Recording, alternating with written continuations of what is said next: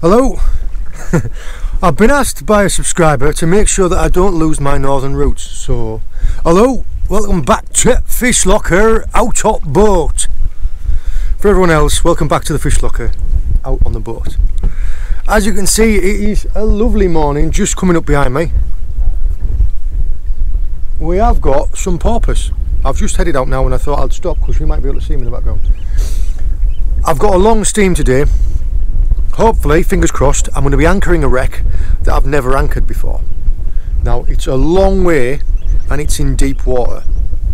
I'm hoping that the conditions are going to be right when we get there. If not, it's going to be a long steam for not an awful lot of fishing. Um, we will figure it out as we go. I'm hoping that on the way there I might see some shoals of baitfish, mackerel, pilchards, scad, that type of thing, so I can feather up some fresh bait and then we'll deal with the rest when we get there but this is just too beautiful a morning not to share. It's not hard to see why this is my favourite time of day, is it? Let's get going. Right, well I've got out to where I wanted to go. It was a long steam and I have just going to run a couple of drifts over the wreck to start with just to see what the life of the wreck is like if you want to I will tag a video into here actually showing you how I anchor a wreck. Because the first thing I did was because this, this is the first time I've anchored it I steamed around and I mapped the wreck first just to see how big it was to see what shape it was. That type of thing. I think I've got a little fish on here now. See what shape it was and see how big it was and then I'm going to run a drift over the top of it and I've just got a set of feathers on because I'm hoping to pick up whiting and pouting. My search for mackerel was well let's just say I don't have any mackerel. And I'd literally just dropped down I hadn't even had a chance to turn the camera on and uh, I think I've been smashed up by a ling straight away it was like dush, dush, and then bit off. So I think likely what's going to happen is when I bring this up now in a minute one of the feathers is going to be missing. And it's going to have been a ling that's bitten me off. Oh the reason yes I think there's a lot of ling down here because that's another one there. Very violent bites what I might do now actually now I know where we're going to sit is I might swap over and I might put an actual wrecking rig on and have a drift over it with a wrecking rig. I have got a little bit of frozen cuttlefish, a frozen octopus. In fact actually I might put a slow jig on. Yeah we're not drifting very fast. Hoping for whiting and pouting because they're also fantastic baits.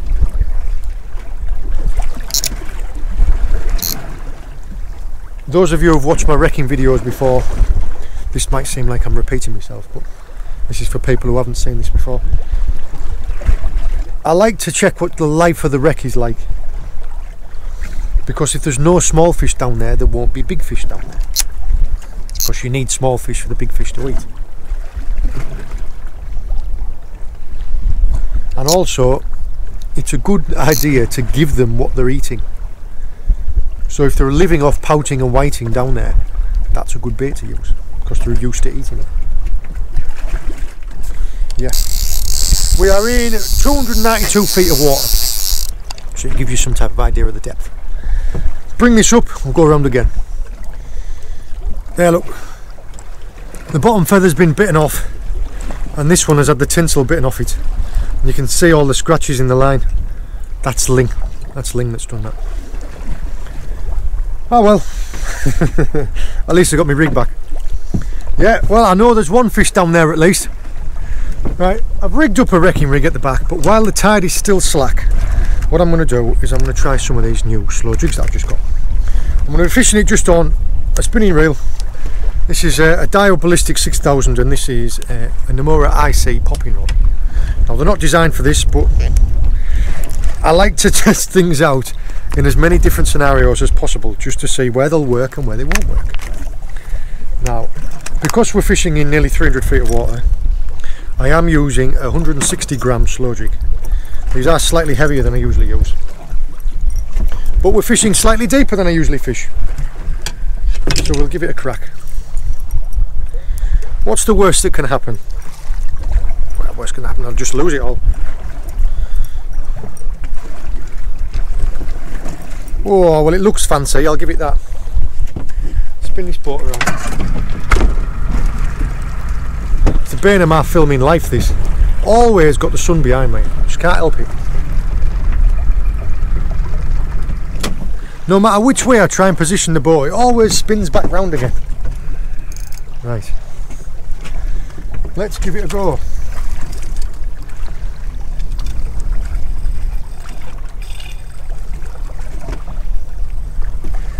With this, I'm hoping for pollock or ling.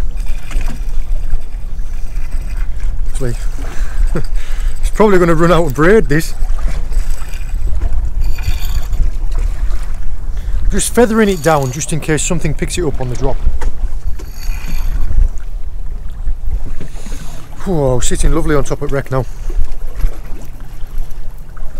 Drifting at 0.4 knots. I go bang on slack water now. That's why I'm fishing on the drift, just sitting on top of the wreck. There's no point me putting the anchor down now because I would just swing around. I need the tide to pick up and go in one direction. Then I'll know where I can lay my anchor. These slow jigs are deadly in shallow water. Not used them in this depth yet.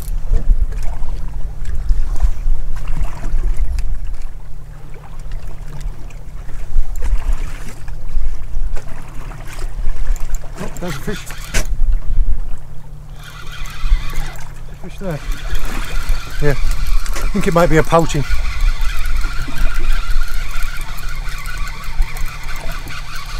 Just a little fish.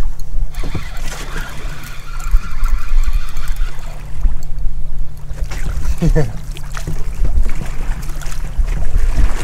A big, fat pouting. Thought as much.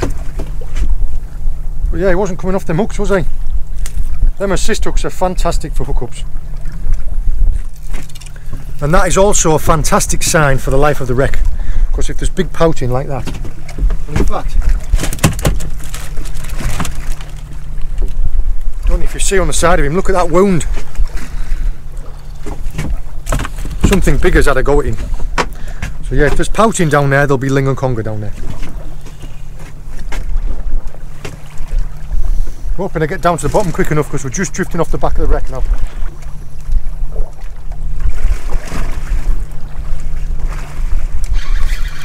Ooh, missed it. No, I didn't.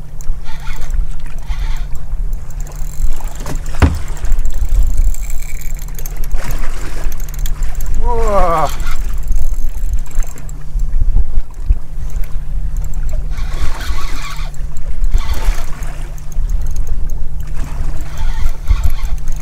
Feels like a bit of fish.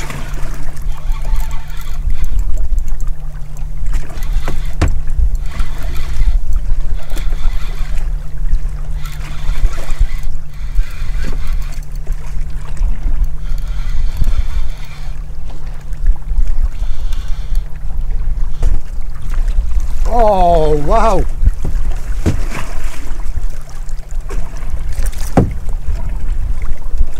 That That's actually a PB. That is a coal fish. That round here for a coal fish is massive.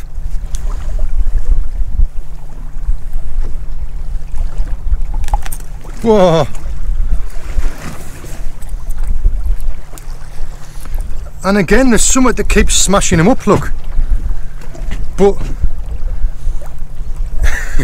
I'm definitely going to get a photo of that. That is a fantastic coal fish.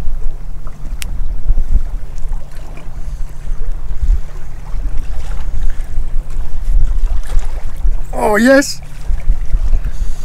You don't often see me get this excited.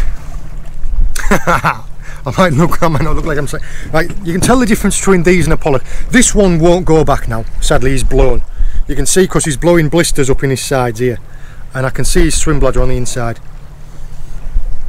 But you can tell the difference between a coalfish and a pollock because the coalfish as you can see is darker on the top.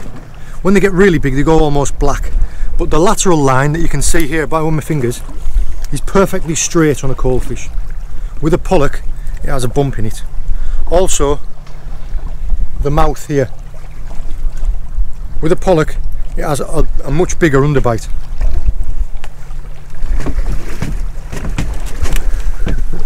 get some photos of him and getting getting properly dispatched.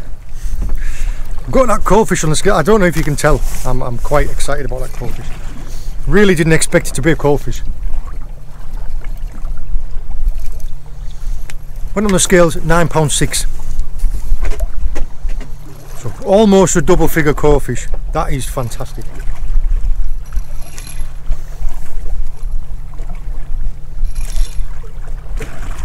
And on the right gear as well. But I caught that on the conger gear, it wouldn't have wouldn't have been worth half as much, would it? 300 feet of water on light spinning gear on a slow jig, perfect. Absolutely perfect. Couldn't have asked for more.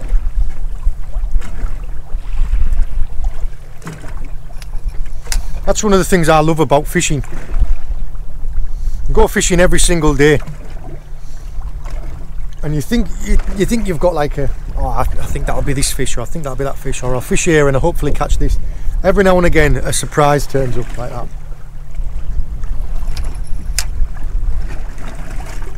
We'll see what they drift see what this drifts like with this slow jig. If we have another fish we might carry on when we, we might carry on fishing with slow jig. If not what I might do we'll go back and I'll have another drift and I'll use my wrecking rig instead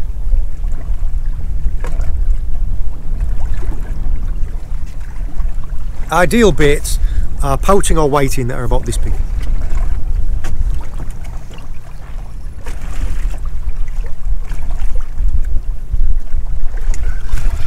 Drifting over a different part of the wreck this time.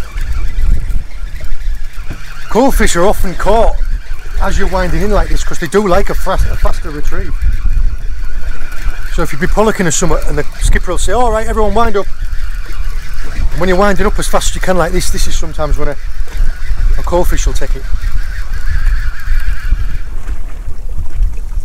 You can, if you're going to be running long drifts, you can use a drogue.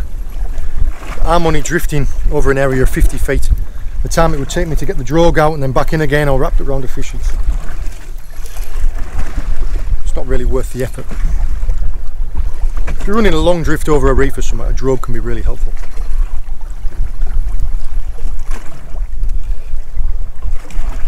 Often you can find when you're fishing with slow jigs like this is your first bounce is when you get the hook up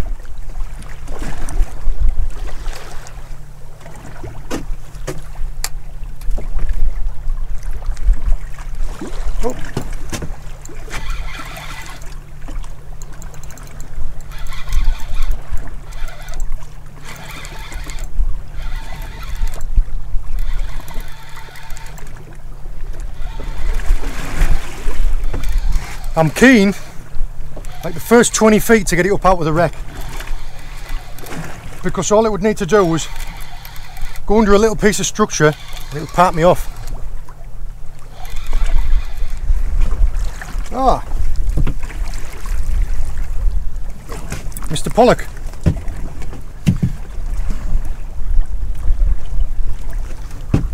There you go, same jigs, caught a pollock this time.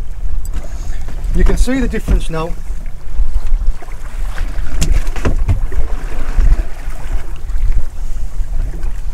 See the difference now between the lateral line of a pollock and a coalfish. See how the coalfish it's straight and white and the pollock it's got a bump in it. There you go.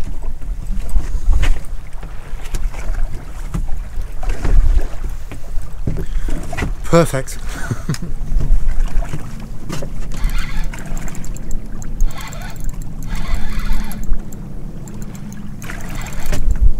That one took on the drop.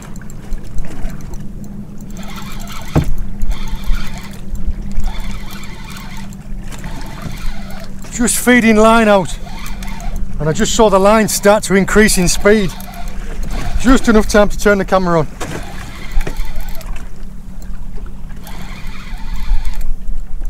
See what I mean when I was saying earlier on when I was feathering the bait out, feathering, feathering the lure out? This is why.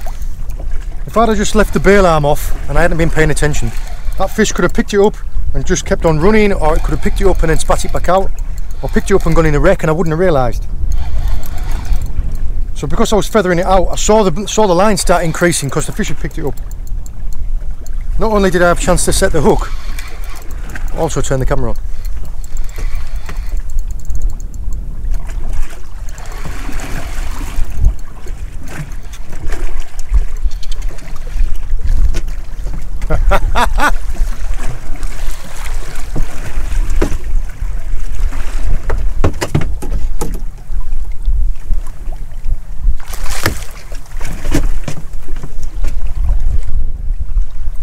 Now that is a proper sized pollock.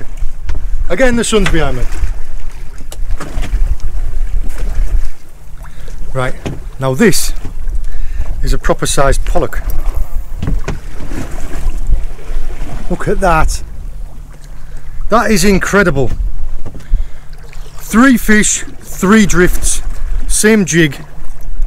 This one's got to be a double figure pollock. In fact, let's compare it to this one. Ah. Yeah. Might just go stockier than this one.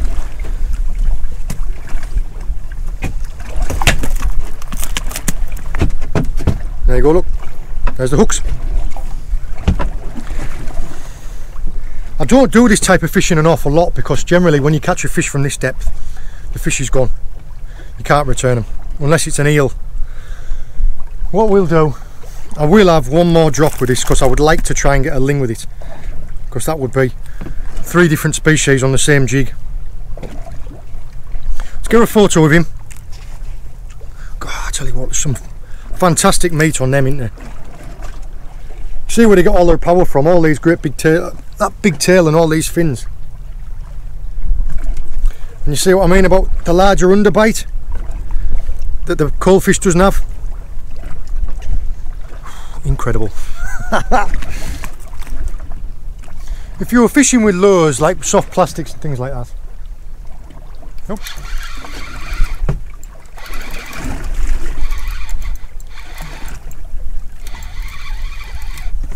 As I was saying, if you're fishing with soft plastics over wrecks, you generally need a lot of tide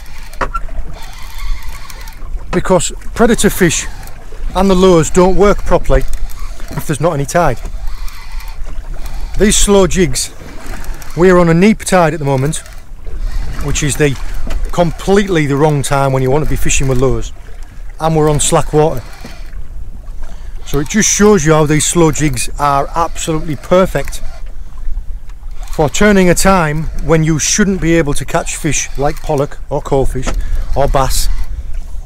Slack water on a neap tide is not when you should be fishing with lures historically. But these slow jigs work perfectly. There's a lot of tide today. I mean usually there's like a, a three knot tide run. I wouldn't be able to get down there with this little tiny lure in this depth. It's about matching matching your tactics to the conditions. Conditions today are small tides, slack water, not an awful lot of movement. Lends itself perfectly to slow jigs. One of the things I've found as well is when you're dropping them down to the bottom, don't just drop them straight in because they flutter like that. If you drop it in, drop it in for a second and then jig it, it straightens it out in the water, and then when you drop it, it should drop straight. But it's the fluttering movement. It, it seems to trigger fish on, so it's the so sharp up, slow down, sharp up, slow down, because you jig up and it flutters down. The dispatching of fish is a bit of a controversial subject. I use a method that's quite similar to the Ikejime method. In that I have a sharpened spike and I brain them and bleed them. So you snip the gills. I'm not going to show you on camera because there's some people that don't like seeing that. But you snip the gills. If you Google it, there will be there will be videos on the exhuming method. But you uh, you bleed the fish, which is better for the meat, and you brain it. I don't agree with battering fish over the head because quite often it doesn't doesn't dispatch the fish and you just end up battering all the meat.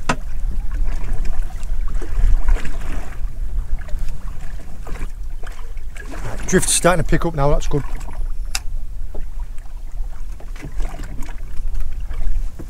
Anchoring in this depth of water, I don't want to have to do it too many times. I'd rather wait an extra 15-20 minutes till the tide's properly flowing. We're in, let's say 290 feet of water. So I'm going to be letting out 650, 600 to 650 feet of rope.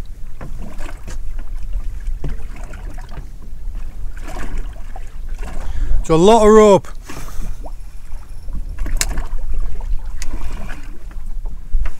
Right. I've eventually untangled my anchor rope. I don't know if you can see that boil there behind, but there's just been a tuna of about, estimate, 800 pound. Easily seven or eight foot long, about that round. Just jumped out of the water right behind me. Hi, well I'm actually, I'm 45 minutes behind when I wanted to put the anchor down because I've been that long untangling 600 feet of anchor rope. I have 20 feet of chain. I have, what is it?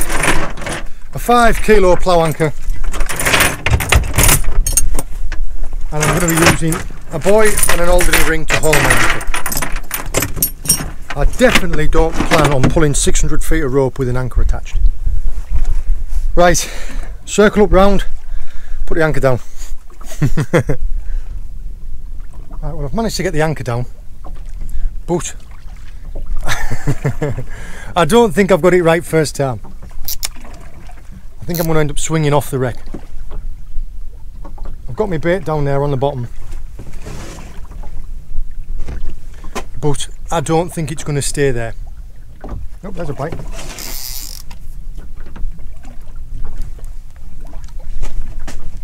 yeah I'm down there on the wreck now but I've got a feeling I'm going to swing off it so I'm going to have to re-anchor. I would have been amazed if I'd got it right first time. Ideally what you want depending on the strength of the tide is you either want to be. You either want to be just off the wreck to draw the fish out of the wreck to your baits or sat just on it.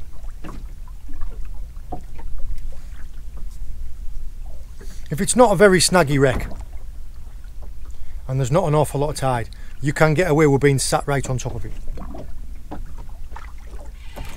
Well, I've re-anchored and I'm just waiting for the anchor to settle and I've just rigged up another slow jig, dropped it down.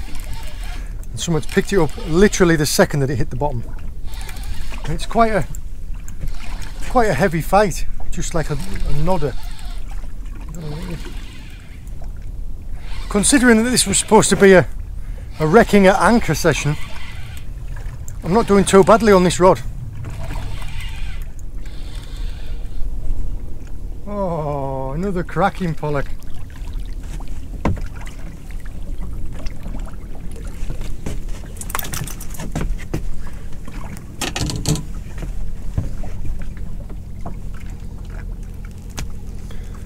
Another really solid fish, look. Taken on a little silver slow jig this time.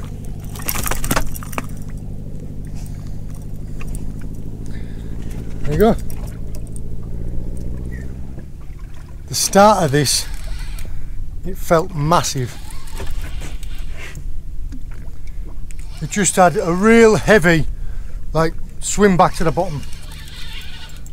Took it on the drop, I stopped it about 10 feet off the bottom and it just it was like nah just all the way down. It is loads more, loads more sporting fishing light like this. With just a light setup.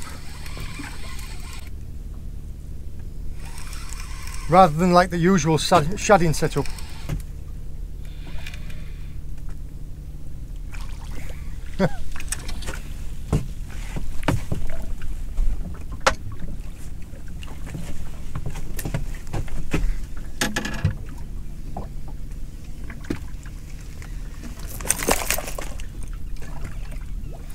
It's another colossal pollock.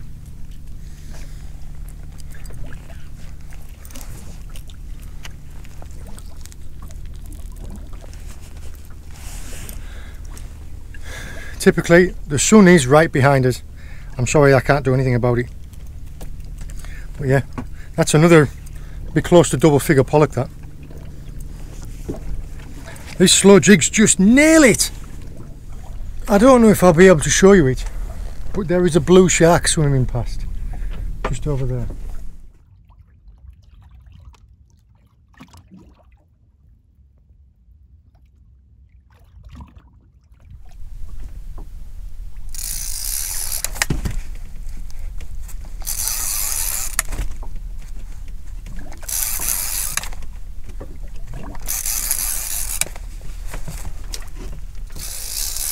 Well,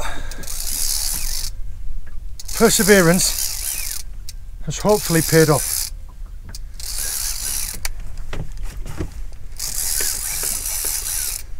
Fourth, maybe even fifth time of anchoring. Lost five sets of gear into that bit of net. Just finally tried anchoring up on a different part of the wreck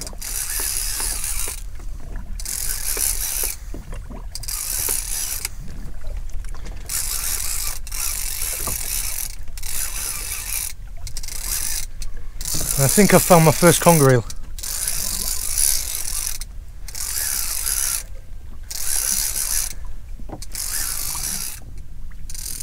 No, but it is a massive ling.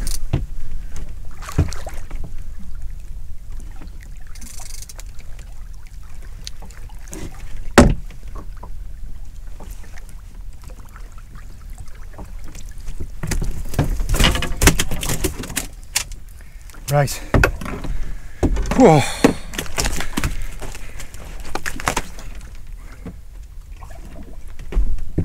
Taken on a running ledger rig. Whoa, that hook was well in there.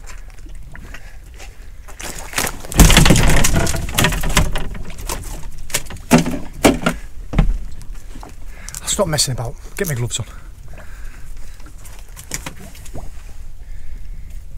This ling has been hooked before.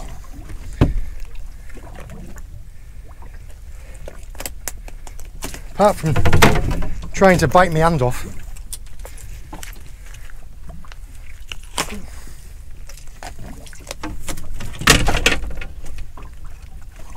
Give me that back. There look octopus. This ling has been hooked before. You can see because see the damage on the side of its mouth there? And it has a bit of damage on the other side as well so he has had a hook in his mouth before and he's gotten off and that hook has like broken off. So someone snagged up into him, lost him and then the hook's come out. But his luck has run out. There you are. A cracking. God, we've got some eating fish today.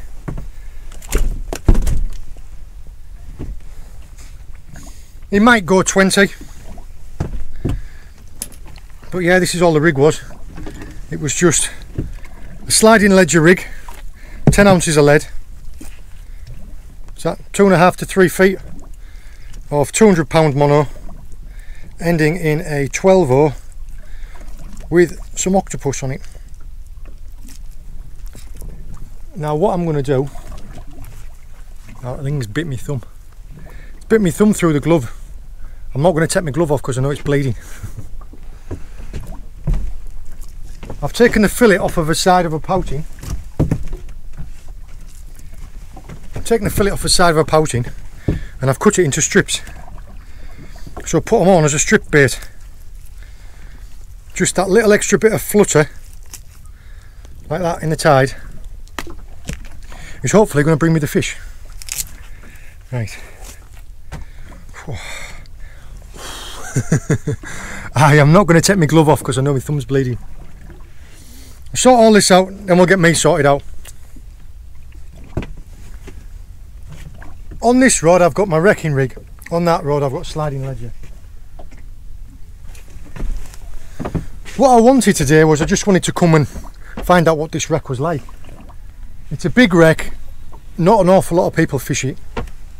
I was hoping that it might hold some big eels. That's my target species really, is eels. I'm happy to catch other fish as long as it can go back. I've, I've got a lot of fish here now. We're going to be our house and my father-in-law is going to be eating fish for quite a while now. I don't really want to be catching any more ling.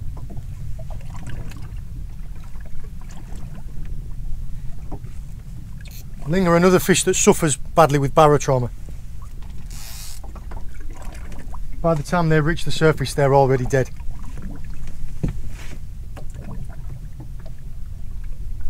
Whereas a conger eel could swim all the way to the surface and all the way back down again. I think I'll get a glove on. Yeah, they have got really, really sharp teeth, Lee. As you can see there, it bit me right through the glove.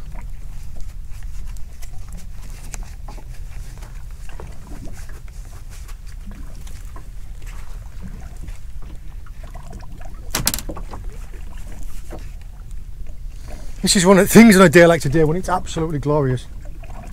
I end up getting preoccupied and I forget to drink any water. Then I get halfway through the day and wonder why I've got a headache. Ah, it took me ages to get this anchor set right. I'm sat, sat okay at the minute, touch wood.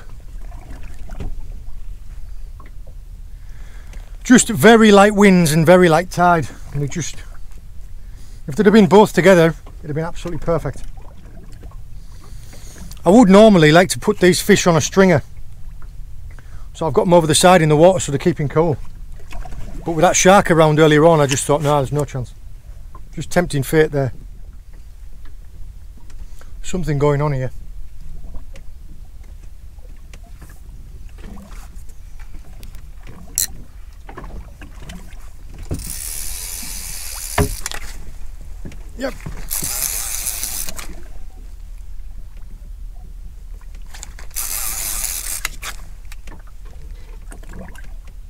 Oh.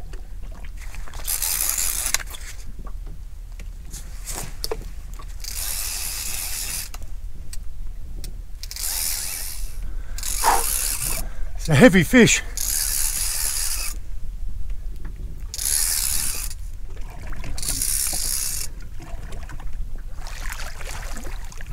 Now that is a proper size conger eel.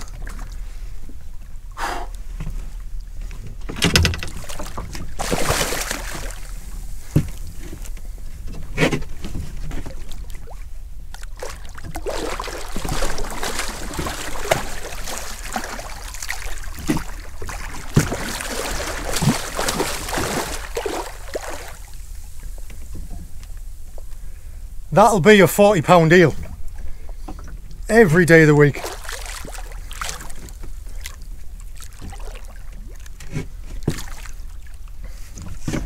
Just the sheer girth on it.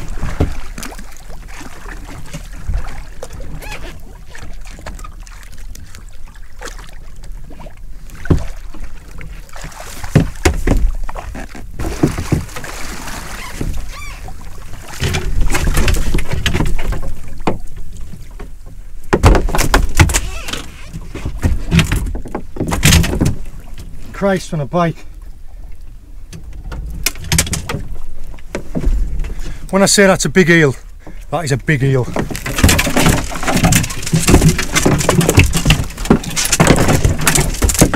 that rod up out the way. Where's my glove?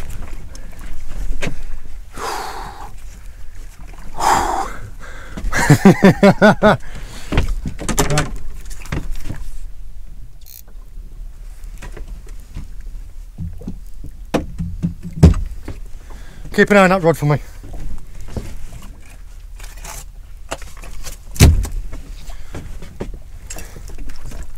Hooks out.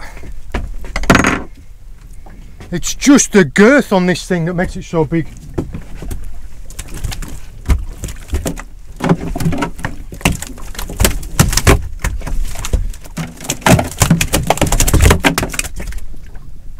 Calm down. Right.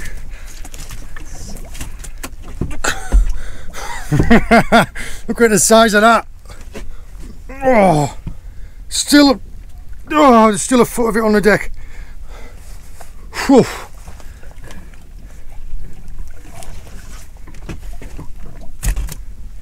That is a big fish. Right, let's get this eel back. I've weighed it as best as I can. It was 45 and still on the floor. So I'm going to call this a 45 to 50 pound fish. And I'm not cheating anybody there.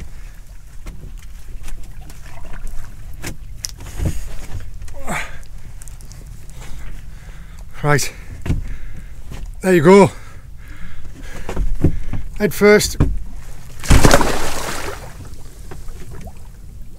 Oh, no problem. Straight back. Fantastic.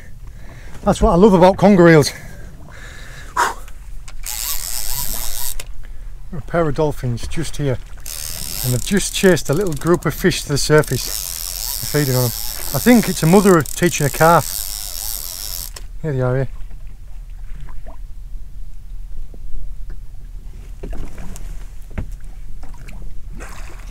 See him?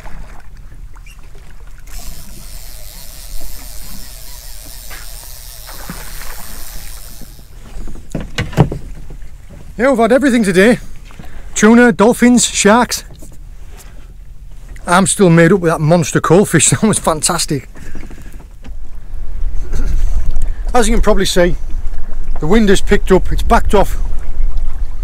It's picked up, so we're swinging about a little bit. Luckily this is quite a big wreck, so we are still on it. But I think I think we're going to have probably half an hour before the wind picks up that much it overpowers the tide and we're not going to get a chance to fish anymore. Definitely can't complain. Definitely can't complain about what we've had already. What a fantastic day's fishing. I'm going to have one last try with this slow jig. Stopped fishing with it because I was catching too many fish with it. Yeah, I'd like to get one more reel out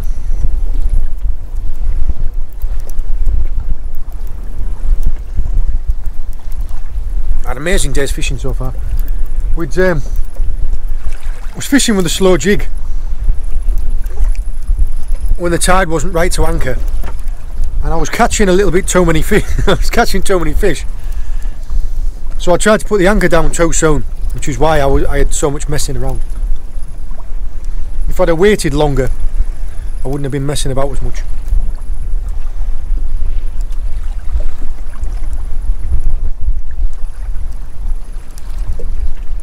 Tide is really pulling through here now.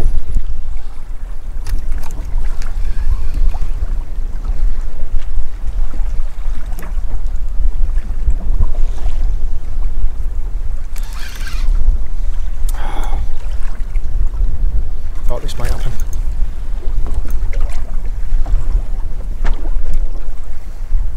I hope that hasn't happened to them other ones as well. That piece of net that's on the wreck I anchored us up on a different part of the wreck to get away from the piece of net. And we've swung back towards where it is. That might be it, I might be snagged in it now with the slow jig. That'll be annoying. You can sometimes bounce them out. If it's just metal, or if it's just lightly hooked into something, you can sometimes bounce the snag out. This doesn't feel like it, this feels like it's solid. Ah, well, sort all this out. Right, I did lose that slow jig. It was stuck in a piece of, like either a piece of line or a piece of net or something, because as I was, I put a glove on to pull it, and it broke, and I got like an extra 10 feet, and then it comes, comes solid again. Um, lost the slow, lost the slow jig, but I got one of these stuck in it, and I managed to get this back so it must be that whatever's down there is old because the slow jig rod, the braid and the, the mono wasn't strong enough, but my conger gear was strong enough and it broke through it. Um, this is my standard conger gear. It's just an Ugly Stik. This is a 3050 and uh, a TLD 20. Now I've got, I think I've got 60 pound braid on there and I've got 100 pound rubbing leader. If you want to see the tackle that we use, we do review a lot of it on the Fish Locker Workshop channel. I will tag that channel into here now. The other rod that I was using today was the first outing of my new conger rod. Another Ugly Stik, but this one is uh, one of the old classic conger rods. Fantastic. It had a, a cracking ling, first drop, and then it had a, a brute of a conger. Like I say, 45 to 50 pounds every day of the week couldn't weigh couldn't weigh it properly because I couldn't lift it high enough and I would I didn't want to put too much pressure on it if I had a, a, big enough sack I would have weighed it in a sack but like I said yeah 45 to 50 pound the uh, the slow jigs absolutely nailed it today. Perfect for the conditions. Slack water over a wreck. They were the the Thor the Thor pitch jigs. Thor slow pitch jigs and one was in uh, cotton candy and one was in gold orange zebra what a pollock thinks gold orange zebra is, I have no idea, but I know that they catch fish. We had a, I still can't get over that coalfish. That is, it's my personal best coalfish. Um, yeah, I'm made up. We had a great ling, um, double figure ling, double figure pollock, nine, I can't remember what it was, was it? Nine two, nine, I'll have a look in the video. Anyway, a nine pound coalfish and a massive conger. I can't help but feel that if we'd had mackerel we would have had more fish out of this wreck. Just because they, they create more scent. But you can't have everything. We uh, dolphins round us all day tuna all day and a blue shark. Like an aquarium out here. I am going to I'll get about gutting all these fish. And then we will uh, look at pulling the anchor and we'll make our way back because it is starting to pick up a bit. I don't know if you can see the motion and the wind's changed. But yeah I'm gonna have to buy some more of these. That all cracking. Right, come on, stop messing about. Let's see about getting that anchor up. Felt like the sixth time today. I did say to myself, I said I'm going to try not to anchor up. I'm going to try not to have to re-anchor so many times because it's really deep. Still ended up having to do it like six times.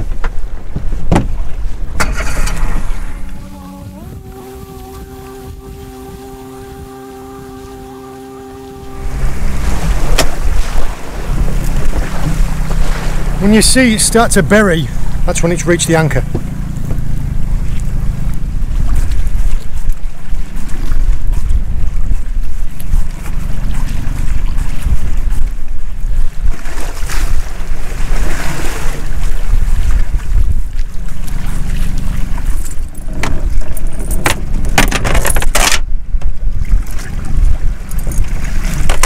that's why it fouled.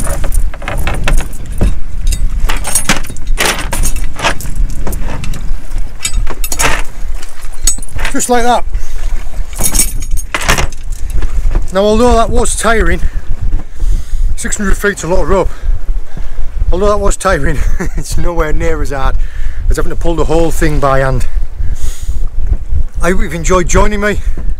I've had a cracking day. I had to work hard for them them last few fish though. It's all part of the fun. All the best. Oh if you like the videos give them a like give us a comment. Let me know what you think. Subscribe to the channel and make sure that you select all notifications. That way you'll get a notification the next time we bring a video out.